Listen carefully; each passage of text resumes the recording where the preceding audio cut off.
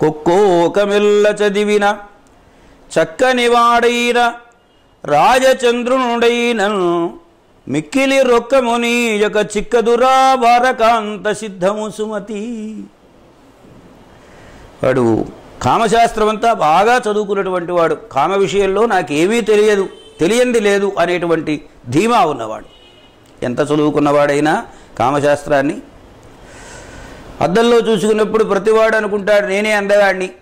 నాకు మించిన అందగాడెవ్వడు ప్రపంచంలో వాడు ఎంత అందగాడైనా ఒక రాజ్యాన్ని పరిపాలించేటువంటి రాజు అయినా ఒక వేశ్య దగ్గరికి వెళ్ళినప్పుడు డబ్బులు ఇవ్వకుండా వేశ్య ఇంట్లోకి రాణిస్తుందటయ్యా సుఖాలు ఇస్తుందా?